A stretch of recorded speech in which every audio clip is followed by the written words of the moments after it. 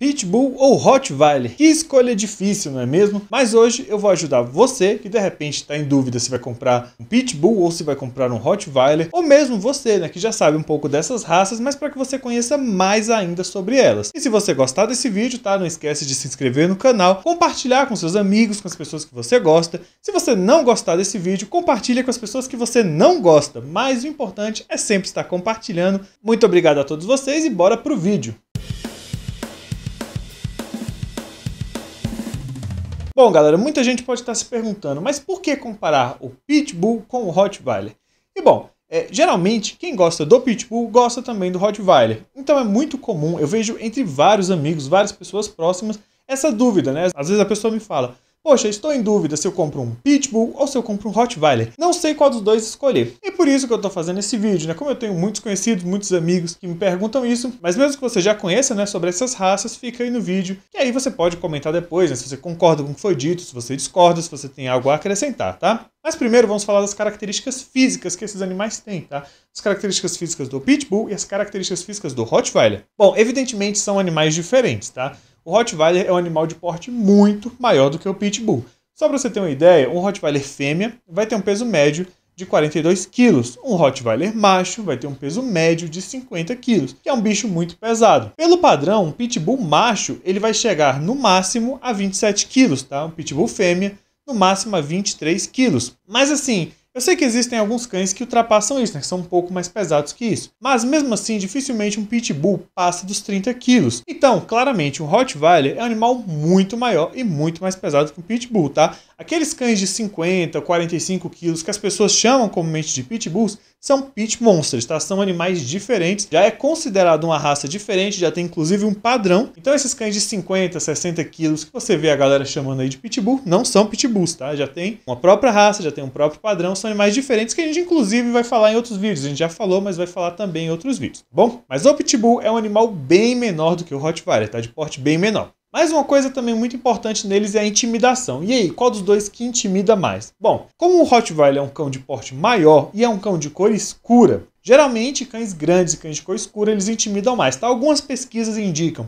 que cães escuros ou cães com coloração escura no rosto, eles tendem a intimidar mais do que animais de outra coloração, tá? Mas o pitbull ele tem uma característica que é a fama, a fama do pitbull. Como nós já dissemos, né, Pitbull é uma raça que sofre muito preconceito, é, jornalista não gosta de Pitbull e aí fica soltando um monte de matéria contra a raça, o que faz com que as pessoas comumente tenham muito medo e muito receio, acreditando que o Pitbull é um tipo de monstro. Mas não, Pitbull é um cachorro como qualquer outro, com determinadas características. Então, o Pitbull é um animal que as pessoas têm muito medo por causa da fama, já que ele não é um cão de porte tão grande. Claro, a musculatura ajuda também, é um cachorro musculoso, mas a fama dele é o que realmente dá muito medo nas pessoas do Pitbull. O Rottweiler tem a fama também do Rottweiler, mas principalmente o tamanho e a cor escura. Então, o que, que eu geralmente vejo? Entre pessoas que não sabem muito de cães, eu vejo que o Pitbull costuma dar mais medo, tá? Você pegar uma pessoa que não tem costume com cães, que não pesquisa muito, não conhece muito, geralmente ela tem muito mais medo do Pitbull do que do Rottweiler. Você pegar uma pessoa que já tem um pouco mais de conhecimento, geralmente ela tem mais medo aí do Rottweiler do que do Pitbull, né? Mas assim, acaba sendo um pouco equiparado, né? Se por um lado algumas pessoas têm mais medo do Hot, outras têm mais medo do pitbull. E outra coisa importante, né, quando a gente fala do, das características físicas, é a força na mandíbula do cachorro. Sim, a arma que o cachorro tem é a sua mandíbula, a sua é, mordida. Um cão ele não tem mãos, ele não consegue dar socos, né, ele não consegue utilizar armas, então a arma do cão é só a mordida. Por isso é importante saber a força de mordida que esses animais têm. E bom, o Pitbull geralmente tem uma força em torno de 106 kg e o Rottweiler tem uma força em torno de 148 kg. Ou seja, o Rottweiler tem uma mordida muito mais forte que a do Pitbull. Força de mordida que a mandíbula do Rottweiler exerce é maior do que a do Pitbull. O Pitbull ele tem uma capacidade às vezes de agarre um pouco melhor que a do Rottweiler, né, de segurar a mordida. Mas a pressão mesmo, a força, o, a mordida exército do Rottweiler, ela é muito maior se comparado à do Pitbull, tá? Mas as duas raças mordem forte. Mas vamos falar um pouco agora do comportamento da raça, né? Porque é, a gente já falou um pouco das características físicas, que eu acho que importa um pouco menos, já que a gente está verificando aí se esse cachorro serve para você. Você pode ter um, se você pode ter o outro, qual deles é melhor, qual se encaixa melhor o seu estilo de vida e para isso o temperamento talvez seja até mais importante que o tamanho, né? Então vamos falar um pouco do temperamento deles. Primeiro, como é que são esses cães com a família? Como é que é o Pitbull com a família e como é que é o Rottweiler com a família? Bom, vou começar pelo Pitbull. Pitbull é super tranquilo com a família. Galera, se você pega um cachorro filhote e ele já se acostuma com vocês desde pequeno, você não vai ter problema nenhum. São cães muito tranquilos, tá? São cães muito fáceis de se criar, são cães que amam crianças, cães que gostam de, de, pessoas adultas também. São animais realmente muito apegados, tá? É um bicho que dificilmente você vai ter problema em casa com ele. Já o Rottweiler é muito mais complicado que isso. Por quê? Porque o Rottweiler é um cachorro que é muito dominante. Ele tem muito aquela característica de querer mandar no ambiente em que ele está. O Pitbull, nem tanto, tá? Quanto a pessoas, não. Mas a gente vai falar um pouco é, sobre como eles se comportam com outros cães mas quanto a pessoas, o Pitbull não tem essa índole de querer mandar em você. O Rottweiler tem e já é muito pesada. Então, assim, o Rottweiler é aquele bicho que geralmente quer dominar o espaço onde ele está. Então, existe uma grande chance de, em algum momento, entrar em conflito aí com o dono, né? Você não vai permitir que seu cachorro mande na casa, né? Mas tem um cachorro que está querendo mandar, isso pode gerar aí alguns conflitos, o que pode ser problemático. Então, em, em família, no convívio em família, Pitbull é um cachorro muito, mais, muito mais tranquilo do que o Rottweiler, tá?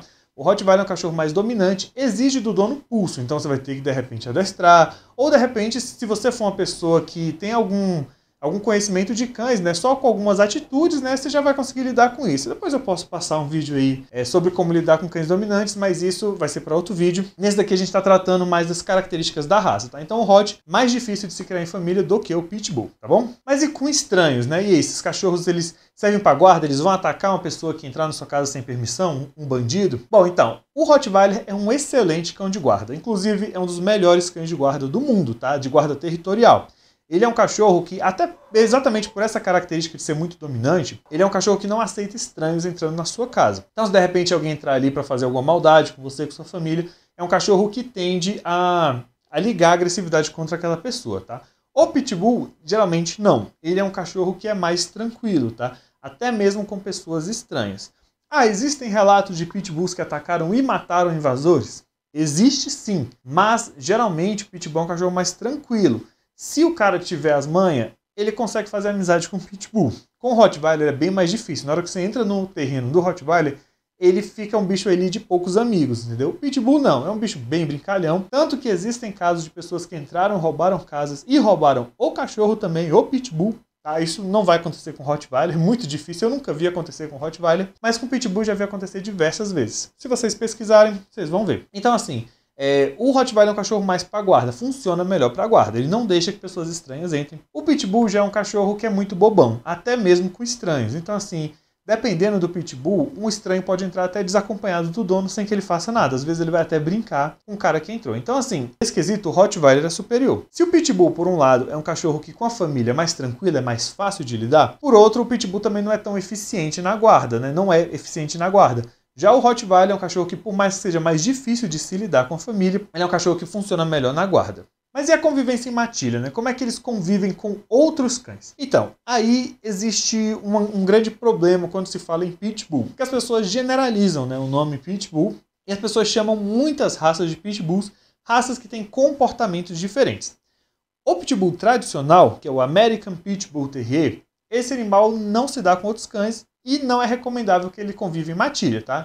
Então é um cachorro que, se você mora numa casa que você não tenha canil, ele tem que ser o único cachorro da casa, ou no máximo um macho e uma fêmea. No máximo, você não pode ter dois machos, você não vai poder ter duas fêmeas, porque eles não se dão em matilha. Já outros cães que as pessoas chamam comumente de pitbulls podem se dar em matilha, né? alguns são um pouco mais a menos. Às vezes você tem um cachorro que a pessoa está te vendendo como pitbull, mas às vezes ele é mistura com um pit monster, às vezes ele é misturado com um American Bully, que são cães mais tranquilos. Então, às vezes, esse cachorro pode se dar em matilha sim, tá? Mas eu reitero que o pitbull tradicional, tá? Ele não se dá em matilha. Então é necessário ter esse cuidado, tá? Na dúvida, se você não sabe se o cachorro que você está comprando é um pitbull tradicional, se ele é misturado, se você não tem ideia nenhuma da procedência, em regra, é, considera que ele não pode conviver em matilha, tá? Já o Rottweiler é um cachorro um pouco mais complexo. Por quê? Porque existem linhas do Rottweiler que são as linhas um pouco mais antigas, que são extremamente agressivas, e existem as linhas que são um pouco mais modernas, que são mais tranquilas. Mas em geral eles são cães dominantes. O que significa isso? Significa que se você tem outro cão dominante na casa,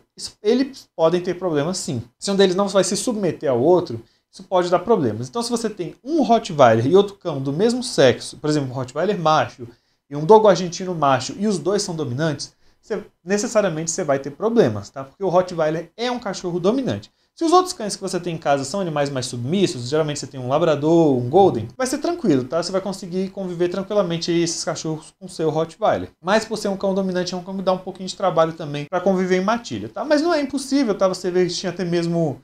É, tinha um canal aqui no YouTube, né, que eu acho que era... Eu esqueci o nome, mas era Matilha alguma coisa que ele tinha uma matilha de Rottweilers e mastim napolitano, tá? Um canal, era um canal bem legal, né? acho que ele parou de postar vídeo, mas ele tinha uma matilha e boa parte dos cães eram Rottweilers, tá? E eles conviviam bem. Mas é aquele negócio, né? O Rottweiler é um cão um pouco dominante, dependendo da situação, se você não souber lidar, pode ser complicado, tá? Então, assim, não é um cão fácil de se ter em matilha, mas o Rottweiler é um cão que pode sim ser criado em matilha. Quanto ao pitbull, o pitbull tradicional não pode ser criado em matilha de forma alguma. Os outros cães né, que vêm do pitbull, como o pit monster, é, como de repente até o American Bully, que vem do pitbull, eles são animais que já podem conviver em matilha, tá? Então, se você quer ter vários cães, talvez um pitbull mesmo não seja interessante para você, mas talvez um pit monster seja. Então, é interessante você dar uma analisada nisso. E o nível de energia deles? Galera, uma das coisas que eu vejo hoje que mais faz as pessoas se arrependerem de adquirir um cachorro é o nível de energia. Com certeza, isso é uma das coisas mais importantes que você deve ver antes de comprar um cachorro e quase ninguém vê. Eu gosto muito de falar isso. Quem me conhece pessoalmente, que conversa comigo, é sempre a primeira coisa que eu falo olhe o nível de energia desse cachorro, pega um nível de energia que seja com, é, condizente com o seu, né, com, com, a sua rotina. Por quê? Porque às vezes a pessoa quer pegar um Border Collie, que é um cachorro com muita energia, só que é uma pessoa que sai de manhã e chega de noite. E aí não vai ter tempo de brincar com o cachorro. O cachorro vai destruir a casa toda, a pessoa vai querer dar, vai ficar com raiva, é, às vezes vai querer bater no cachorro por causa disso. Então, nível de energia é extremamente importante. Tem que estar no topo das suas preocupações quando você for adquirir um cachorro, sempre beleza? Mas essas duas raças, elas são raças que têm bastante energia, tá? Então se você é uma pessoa sedentária, que mora no apartamento, que sai para trabalhar de manhã, chega de noite, não tem tempo para sair e andar com cão, eu não recomendo nenhuma dessas duas raças para você, tá? A gente vai fazer vídeos depois sobre raças realmente mais preguiçosas, mais tranquilas, mas essas duas eu não recomendo. Por quê? O Rottweiler, ele é um cão grande e pesado. Então você pensa, ah, então deve ser preguiçoso. Não, o Rottweiler é um cachorro com muita energia para um cão do seu peso. Claro que se você compara com animais mais leves, como o pastor belga, como o próprio pitbull, ele tem menos energia, mas comparativamente a animais do seu tamanho, ele tem muita energia. Então, o Rottweiler não é um cão recomendado para um apartamento, tá? Você pode ter? Pode, mas você vai ter que, vai ter que caminhar, vai ter que geralmente fazer uns truques, você vai ter que gastar essa energia dele. Pitbull, pior ainda, ele tem mais energia até mesmo que o Rottweiler, tá? Então, em geral, via de regra, o Pitbull tem mais energia que o Rottweiler, mas os dois têm muita energia e nenhum dos dois é um cachorro recomendado que você tenha um apartamento, tá? Dá para ter? Óbvio que dá. Eu poderia ter um Rottweiler no apartamento aqui tranquilamente, mas me daria um pouco de trabalho, né? Geralmente não é o perfil ideal de cachorro que eu teria num apartamento. Mas eu reitero que nenhuma das duas raças é recomendada para um dono sedentário, tá? Geralmente você tem que pelo menos ser uma pessoa que gosta de fazer umas caminhadinhas aí todo dia, né? Para exercitar um pouquinho aí esses cachorros. Mas e a facilidade de encontrar essas duas raças? Qual é mais fácil de achar? O Pitbull ou o Rottweiler? E qual é mais barato? Bom, é, as duas raças são muito fáceis de achar e você vai encontrar em qualquer lugar, independente de onde você mora no Brasil. Então é muito fácil você encontrar tanto Pitbull quanto Rottweiler. E qual é mais barato? Bom, via de regra, o Pitbull é mais barato. Mas isso pode variar um pouco, até porque são raças tão comuns que, dependendo do lugar, né, as duas vão ser muito em conta. São raças que tanto você vai ter criadores informais aí, quanto você vai ter criadores formais, você vai ter bons cães, você vai ter cães aí mais ruinzinhos. Então são raças que por ter muita gente vendendo, é, os preços vão ser mais em conta, mas você também vai ter que peneirar mais, você vai ter que escolher mais, você vai ter que dar uma boa olhada, tá? Ir lá conhecer os pais, perguntar o histórico, saber aí o histórico dos cachorros e tudo, entendeu? Então assim, é, tem em todo lugar, é, é mais barato do que as outras raças exatamente por ter muito, mas em compensação também você vai ter que peneirar um pouco mais para encontrar bons cães. Mas em resumo, e aí? Eu devo ter um Rottweiler ou um Pitbull? Bom, na minha visão, se você quer um cão de guarda eficiente para guardar sua casa e você é uma pessoa que tem impulso é, firme com cachorro, o Rottweiler é mais interessante, tá? Se você quer um cão mais carinhoso, mais família para ficar ali com seu filho brincando, o Pitbull é mais interessante do que o Rottweiler, tá? O Pitbull é um cachorro bem tranquilo, bem mais carinhoso bem mais apegado à família. O Rottweiler é um pouco menos e é um cachorro que exige mais pulso. Então, são perfis de donos diferentes, tá? Você vê qual perfil você se enquadra mais e você escolhe qual deles você acha mais interessante, tá bom?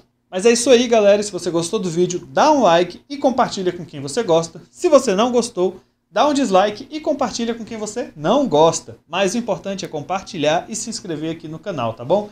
Obrigadão a todos, valeu!